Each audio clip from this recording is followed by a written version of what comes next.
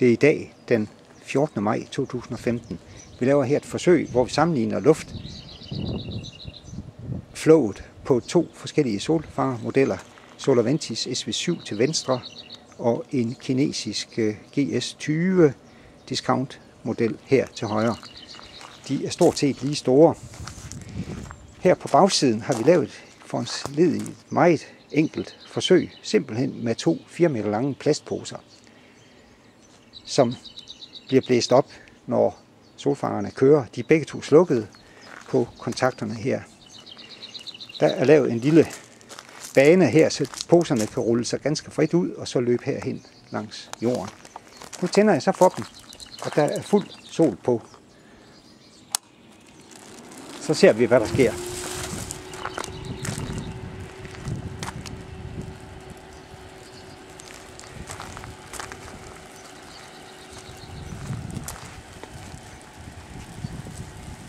Nu ser vi SV7'eren er allerede nu blæst op.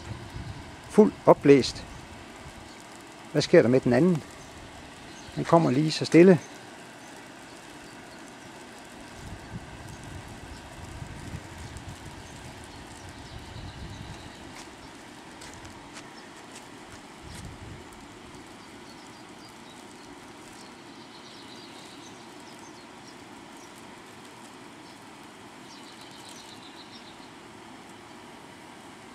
Så nu er den nok så fyldt op, som den kan komme og blive.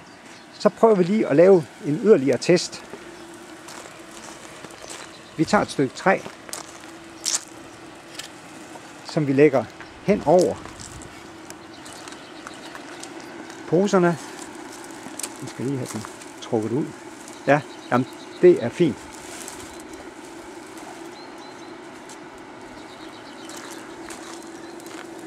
Herop hen over bordet. Ja, sådan. Så prøver vi at se, hvad der sker. Jeg ser, at træet falder nærmest fuldstændig ned over på den side, hvor discount-modellen er. Den er ikke i stand til at holde, holde trykket oppe.